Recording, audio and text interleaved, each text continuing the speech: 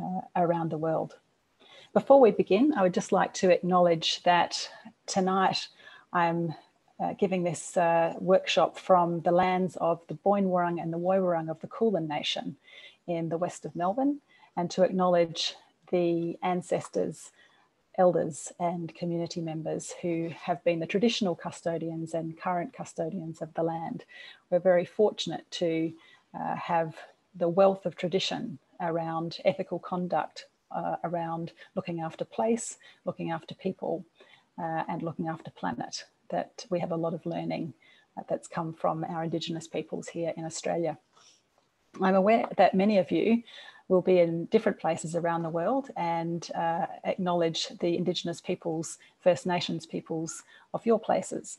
Um, and also to welcome my colleagues who are in many countries around the world. And we were insistent tonight that we would all try and come together to have this conversation about ethics with you uh, rather than just having me present it. So we have um, somebody in the UK, in Chile, in Malawi, in Nigeria, and in Italy. And hopefully that will uh, help give a bit of a diverse flavour to the conversation that we'll, we'll have this evening. So uh, what, what is it that uh, brings us to this issue of ethical challenges? It's questions like when we're working with um, communities that are unfamiliar to us, how do we know whether we will do harm or add value to the community that we're working with? When we're working with people from different cultures and contexts, how do we know what's the strongest path to walk?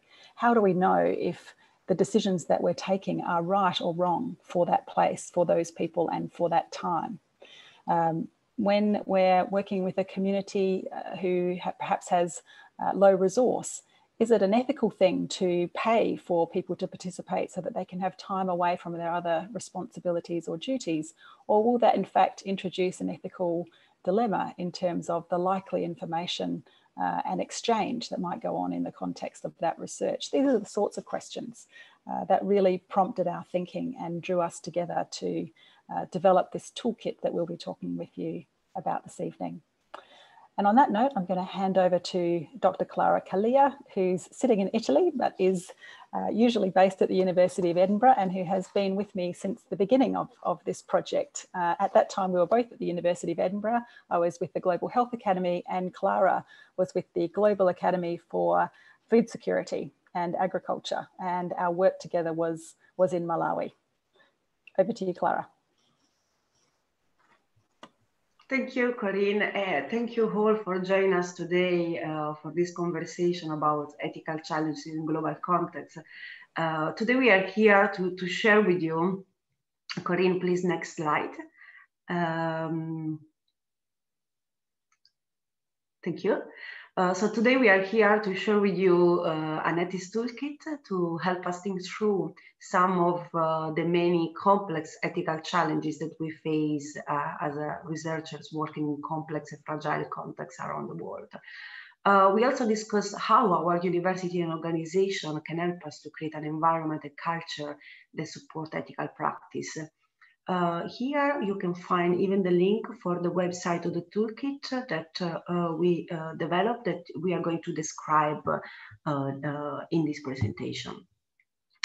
Next slide, please. So this has been a, a collaborative effort uh, uh, from researchers or from all around the world uh, because this cannot be a unidimensional uh, conversation. One needs to be uh, have many voices involved and to consider the richness, the diversity of the needs of, of uh, different experience. So, so far, more or less 200 global researchers participated to the conversation, and uh, these are the one uh, highlighted in this map in the uh, dark blue. And as you can see, even uh, different university and institutions uh, contributed to the conversation. Next slide. So we uh, have representation from across uh, uh, our di disciplinary and professional area. Uh, and as you can see, uh, more or less over 60 disciplines participated to the conversation. Because we believe that this needs to be a collaborative effort and uh, uh, developing a common language is important when we talk about ethical uh, dilemmas and uh, solutions. So the toolkit that we are going to present today um, represent uh, the uh, different perspective and a, a multidisciplinary approach we all know that when we work in a global context, uh, we work most of the time in uh, uh, multidisciplinary projects. And uh, uh, so it's, it's really important that we represent this uh, multidisciplinary approach even in the toolkit. So it doesn't represent only one area of expertise and professions. So next slide. So over the last year and a half, as Corinne was mentioning today, uh, we work on the development of the toolkit. That has been, uh, in a way, uh, a journey for us. And everything started, it all started by involving people.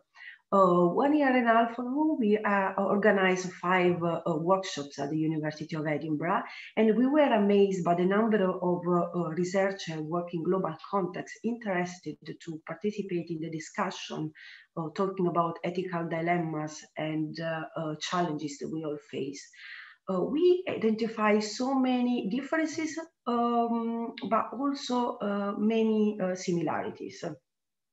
In parallel, we also run, uh, we also did a, a, scoping review from the literature, identifying um, 60 found, uh, 65 uh, uh papers. And uh, uh, this gave us the strength of the theoretical background that has been then representing the toolkit. At the same time, we also uh, review the current uh, world, uh, worldview value system and policies in ethics uh, uh, regulations. And we identify a variety of, of key ethical principles. And uh, together, we summarize what emerged from the conversation with people, from the literature, and from the principle, and we draft the first version of the toolkit. Uh, which uh, will be described uh, will be described later by Corinne. As you can see, is is a, is a, journey to summarize the key point from these different aspects.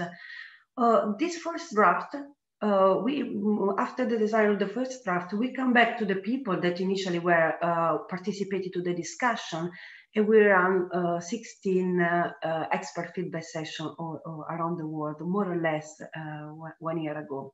So participants of, the, first workshop became then host of the discussion in their own institution involving further uh, researcher uh, to provide us feedback to the first version of the toolkit. then after the, the, the, revision of the first version, we create um, uh, the, the, toolkit, which is now available in the website. This is uh, the link, and uh, which is also uh, summarized in a pocket version now translated in, in uh, 11 languages.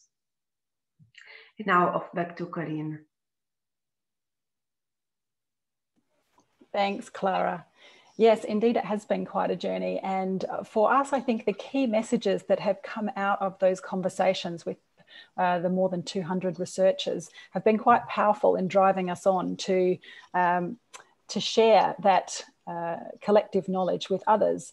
Uh, one of the key messages that came from each of those roundtable conversations was a feeling of not being alone anymore.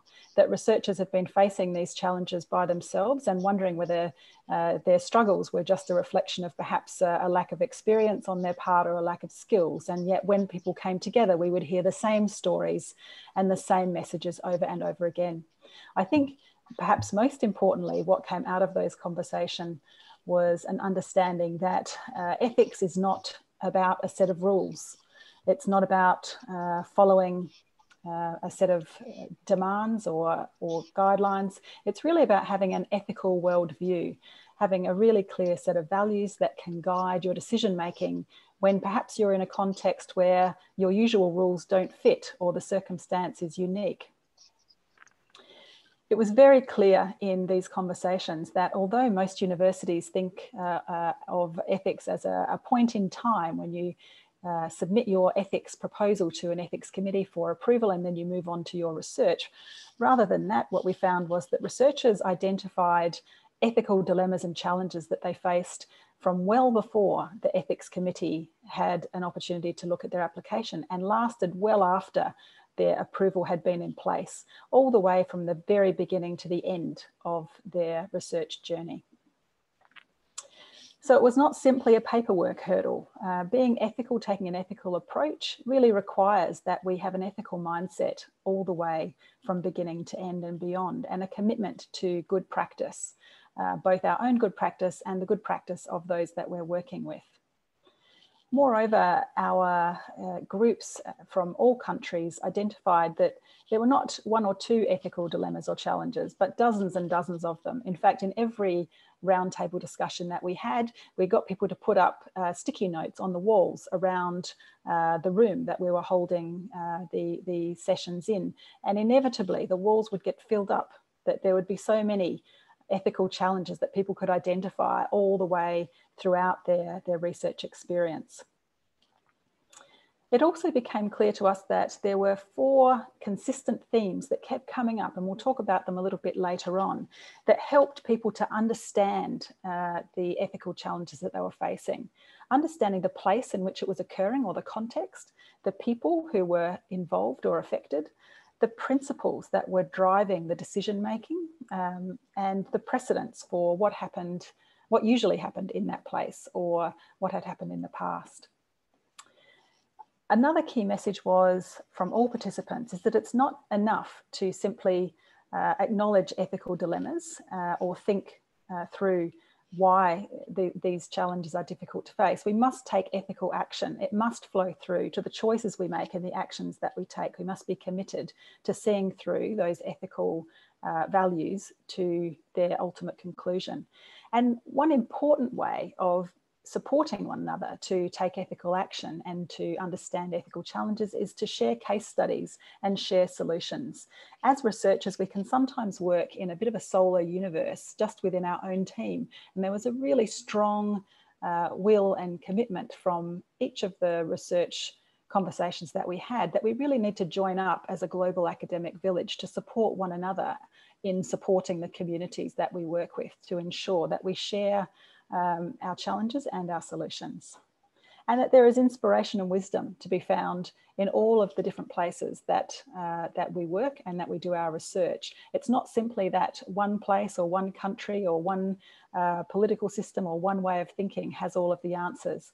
Quite the opposite, uh, that inspiration and wisdom comes in many forms in many places, and that context matters. What might be the right solution to an ethical dilemma in one place may not be the right solution in another, and that there will be more than one solution. Moreover, that there may be no perfect solution. We may be choosing between really complex and challenging options, each of which has an element that works and an element that doesn't. I'm going to uh, hand over now to Action Amos, who is our colleague in Malawi.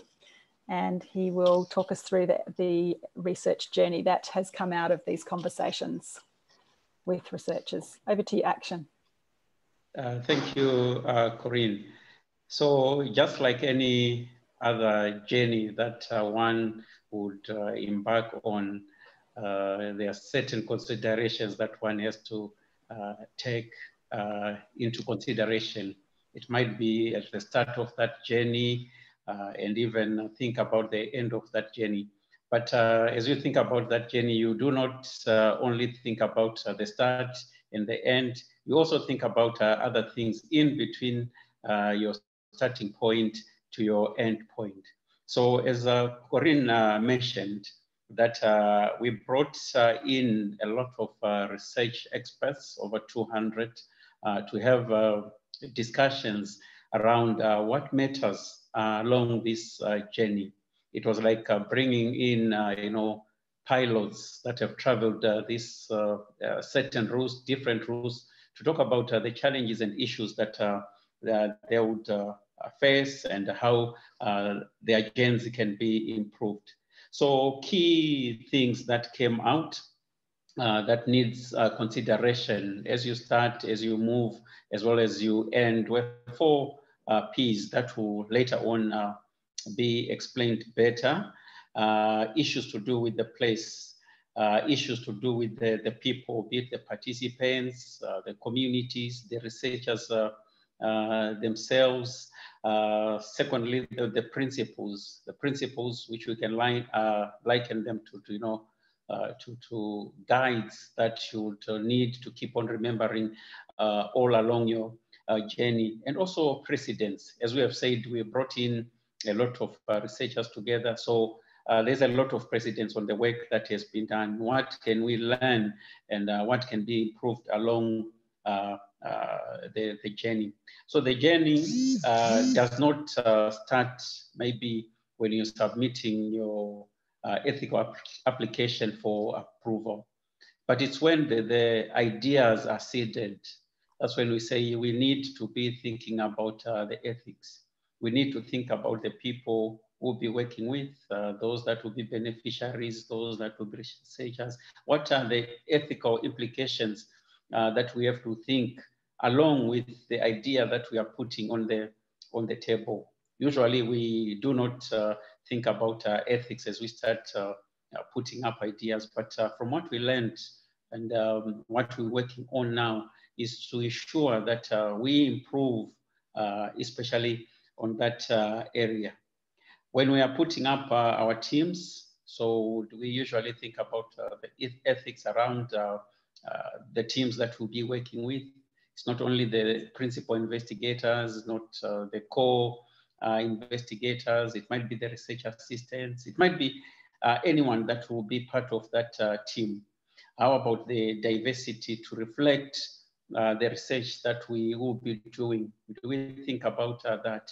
At times, we might uh, even look at issues like participatory engagements with those that are even the, the beneficiaries of our research. So all those things we are thinking with an ethical lens to ensure that the team that even that is being developed ethically it's uh, sound. You took we talk also about uh, another node which is the partnership uh, development. Do we take into consideration uh, ethical consideration, so to say, about uh, who is going to be part of the work that we are doing? Usually we don't. We think about uh, uh, the outcome, the outputs, and say, okay, we're going to produce a paper.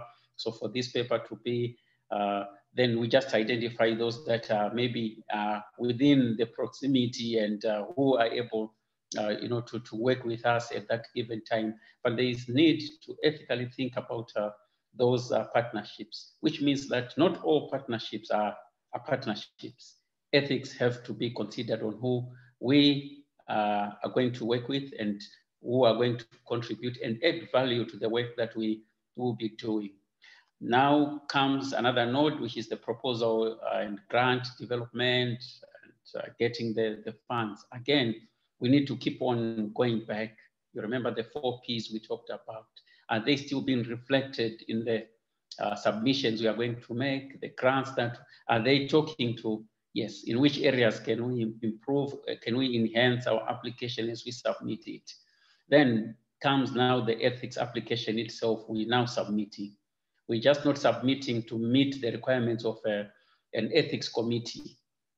Just say, okay, these are their four, five, seven requirements that they need, and those are the ones. But we still need uh, to be professional enough to even add more to ensure that uh, we strengthen uh, issues to do with ethics in research.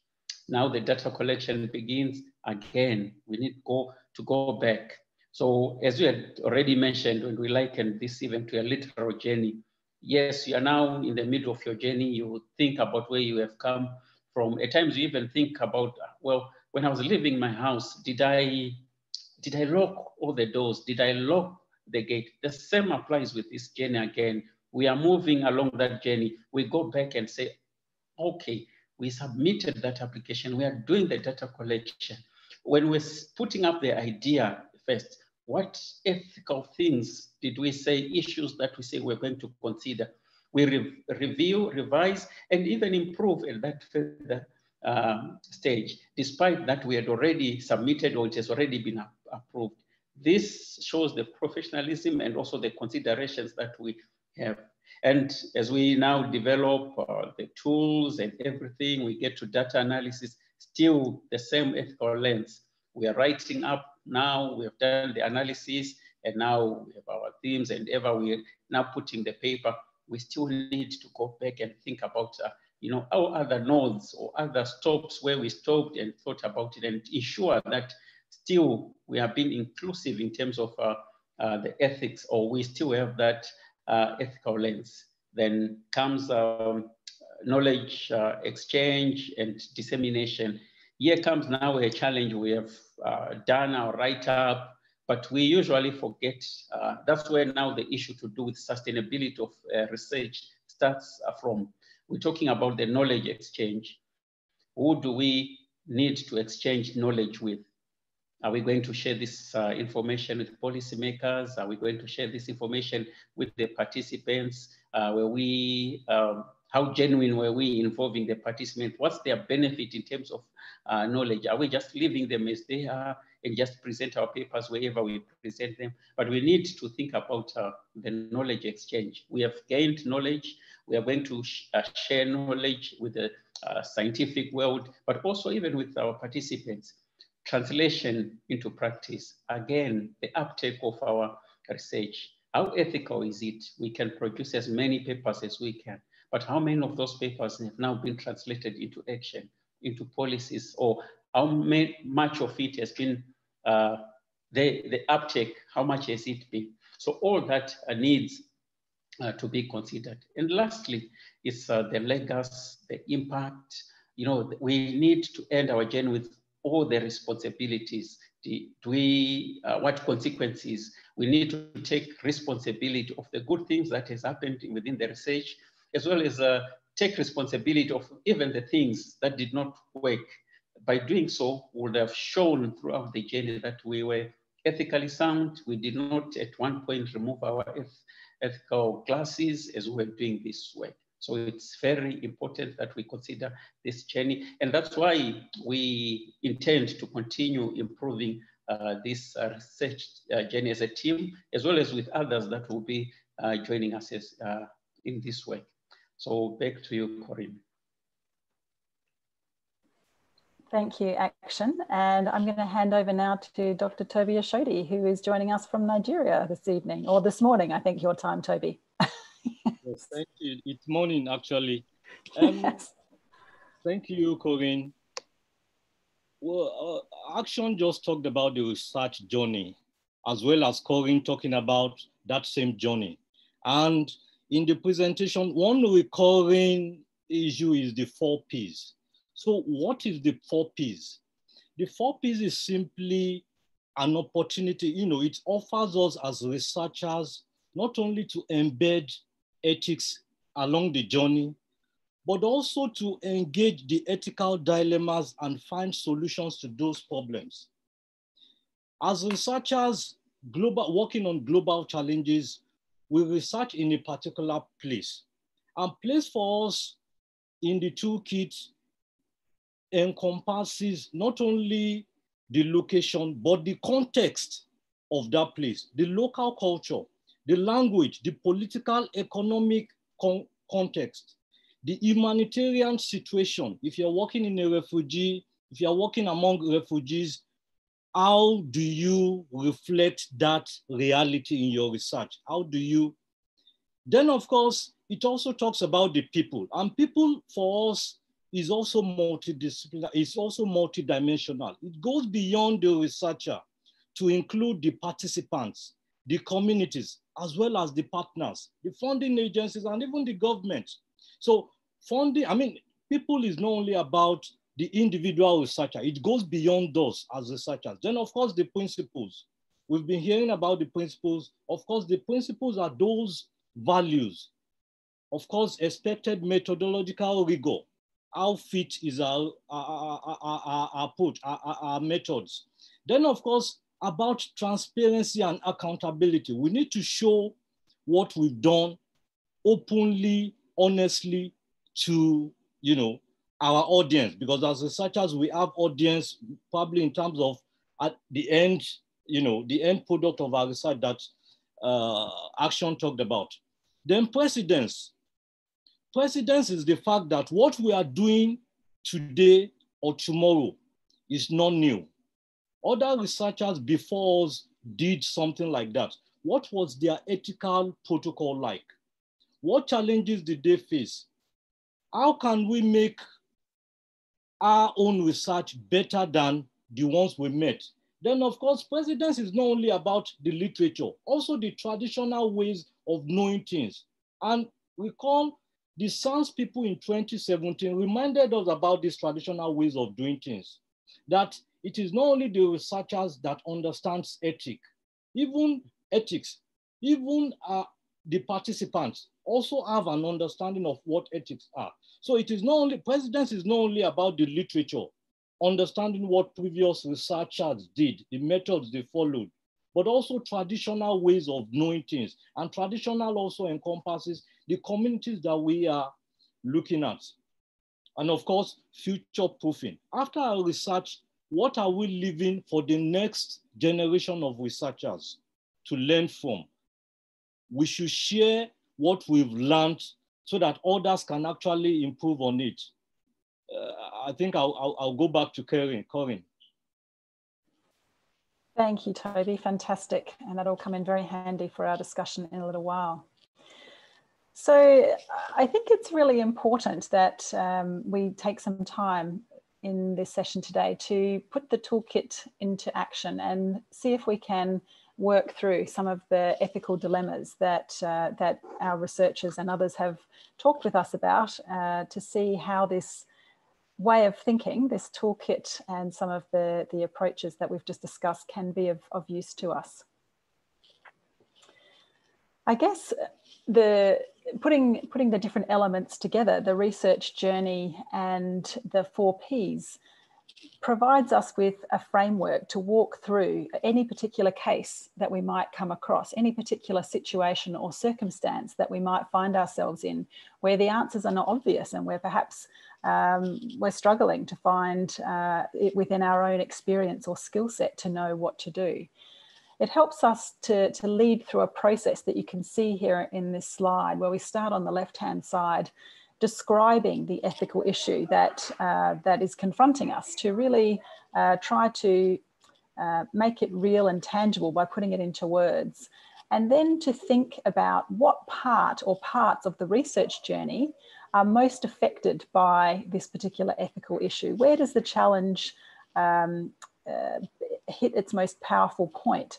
It's unlikely that it will just be at one of these stages. Very often it's at several of the stages. And so the second column here is to encourage people to um, walk through and really think as um, Action was saying when he walked through the research journey, to think carefully and iteratively, even if you didn't imagine that that if ethical issue uh, might have influenced, for example, uh, the development of your team. Later down the track, you may come to the view that in fact it did influence the development of your team. Um, that perhaps when you wrote your ethics application, it seemed that this wasn't an ethical issue to you, but by the time you get to um, data collection, it's clear that it is an ethical issue. So really trying to think systematically through which parts of the research journey are most affected. And then the first, I guess, port of call then is to use the 4P approach to do some analysis to understand the dilemma best before we try and find a solution to really have a rich, deep understanding of what the, the challenge is and thinking through place, people, principles, and precedents in the context of that dilemma can really help us to ask ourselves questions that perhaps haven't been immediately obvious. And, and I should say, not just ask ourselves, often these um, it's really important to have these conversations with others. And between you amongst your team you may draw out different elements that you perhaps didn't see but somebody else could see. And that the sum total of your experience and your uh, perceptions will often provide a much stronger foundation to think about ethical issues.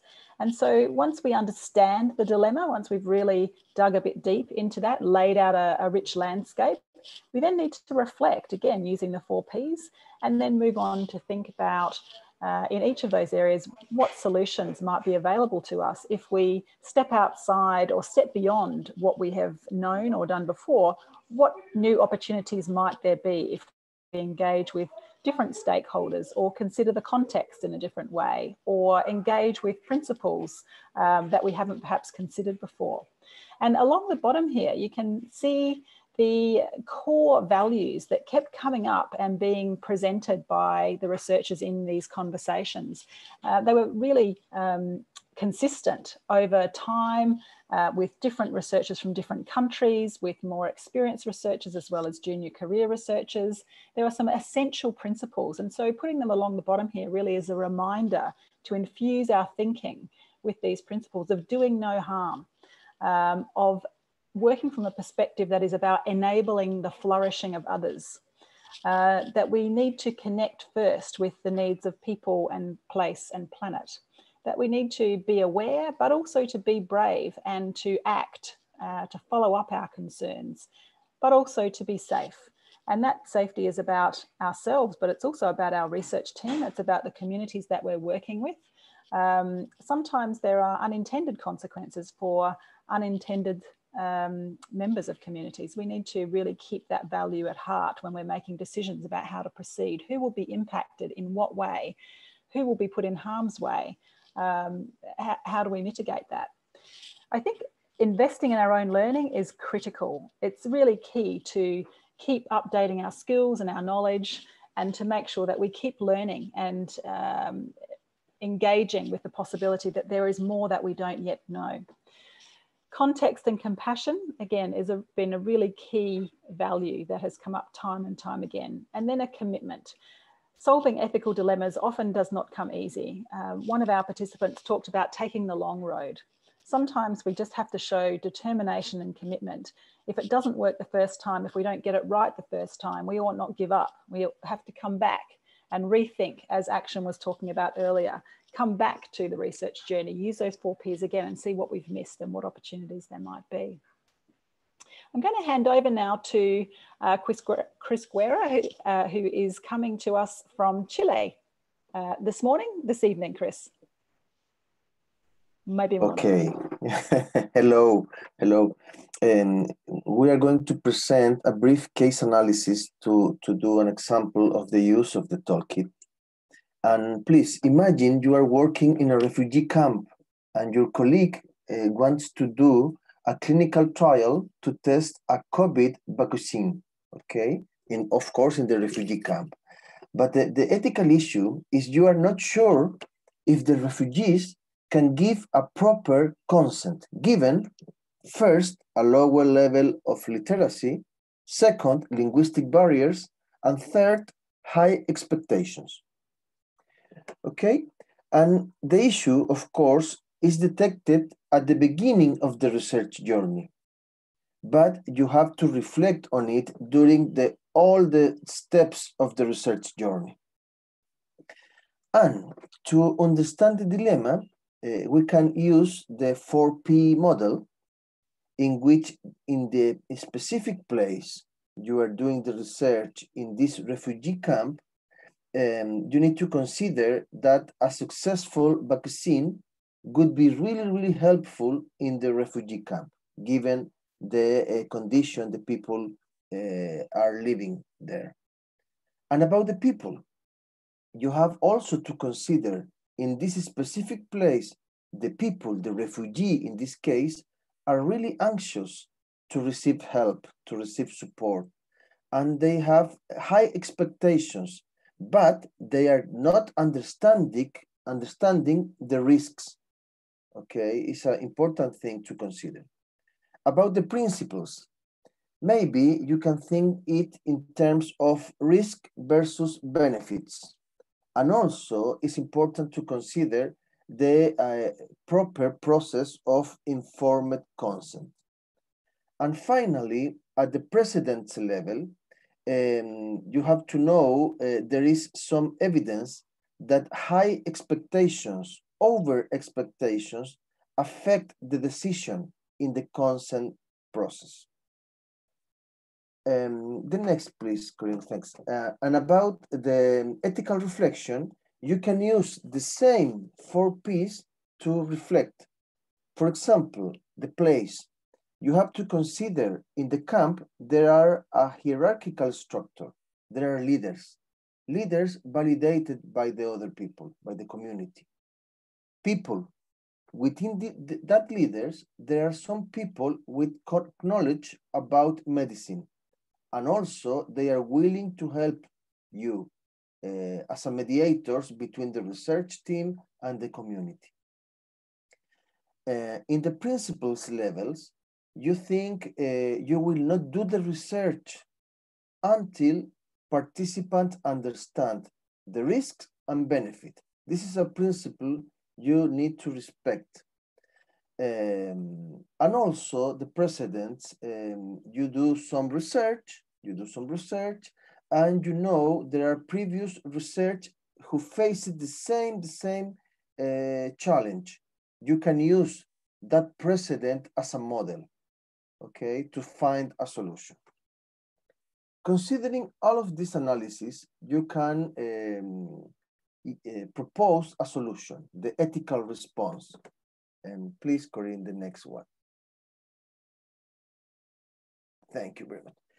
Considering, considering all of this, you decide with your research team to meet the community leaders and to work with them uh, as, a, as a part of a collaboration.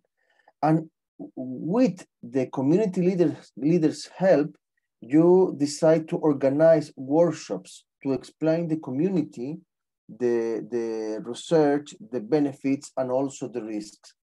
You can also do um, uh, individual interviews with potential participants in local language to explain the, the risk. And finally, you decide to do a revision of the process of consent during all the research journey to be sure the people are uh, really uh, agree in agreement with the participation. So that that's an example. It's not useful in all the research, but probably it would be a good solution in this case. Thanks, Corinne.